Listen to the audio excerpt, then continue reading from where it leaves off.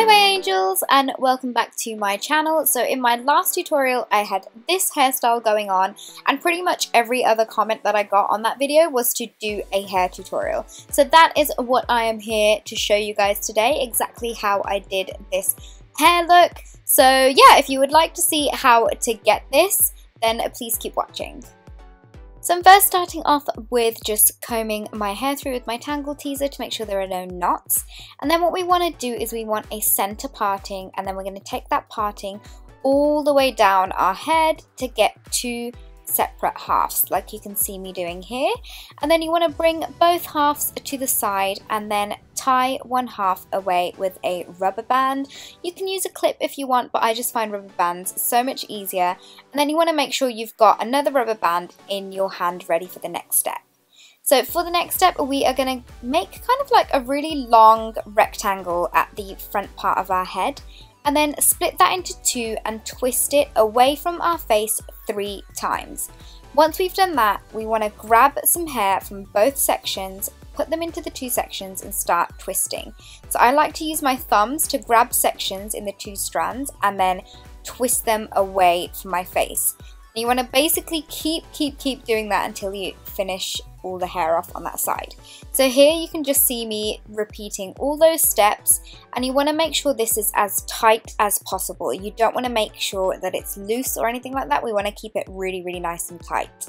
So here I'm just finishing the whole of the hair off and you want to make sure you try, try to take kind of like even sections as well because you want to make this twisty part look as neat and even as possible. So here I'm just making sure that I'm twisting away from my face, so over and under the twist that we're doing until we've reached the bottom of our hair. So what I like to do right at the end is make sure that that section is looking good and there are no lumps or bumps and if there are I just redo that side. So here I'm taking the end section and making three stands and then basically just doing a normal braid all the way down to the bottom of my hair.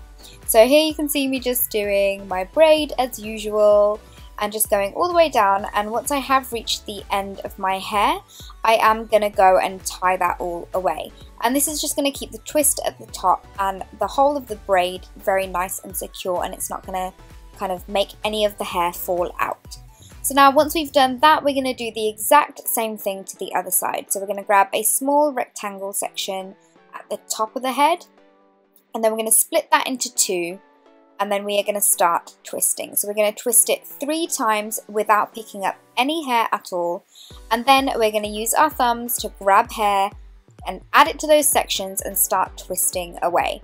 And it might sound really confusing when I'm trying to explain it, but it's so easy once you start doing it and the more you practice as well. So you want to make sure that you're grabbing sections and then twisting it into itself and away from the face because that's the kind of look that I wanted to go for. I wanted to make sure that it, all my hair was kind of moving outside of my face into my hair and it just gives it a really nice open look. So here I am just continuing the same process all the way down my hair and I've tried to keep pretty much every single clip in this to show you guys exactly all the kind of like struggles that I have as well when I'm doing this. Um, but you want to make sure that your sections aren't too big. I took medium sections and you can take smaller sections if you want to make it look a little bit more intricate than this.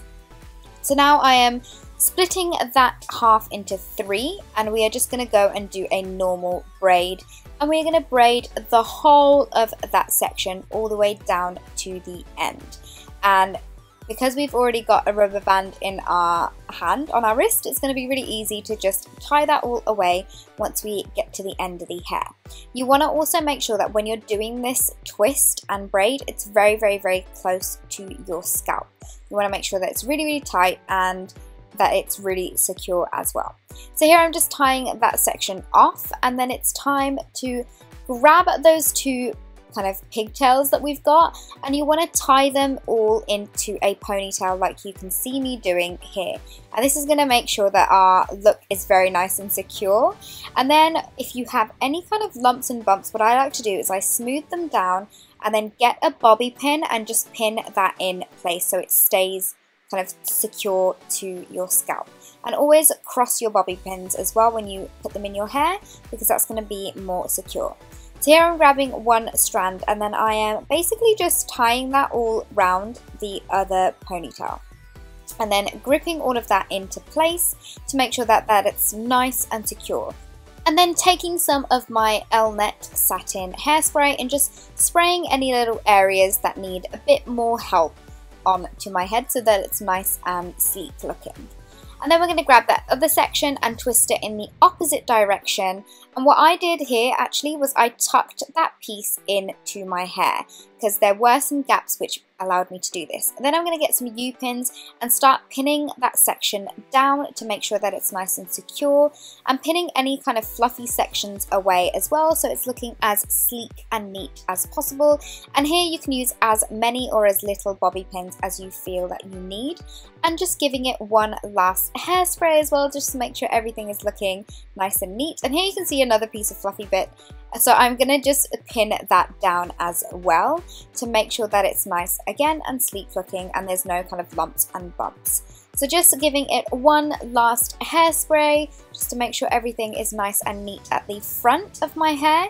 And a little tip that I do have is it's great to spray your fingers if you have any flyaways like I did right there and then just smoothing those pieces down.